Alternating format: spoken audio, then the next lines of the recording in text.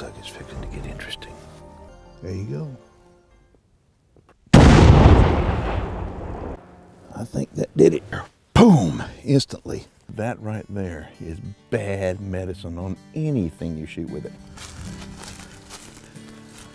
All right, a 50 BMG is one heck of a gun, and this is a really, really nice doe. And so, is the gun overkill for whitetail deer? Yeah, maybe, but you know what? A, uh, a fast car is probably overkill for the freeway, but you know what? I still like fast cars and I like big guns too.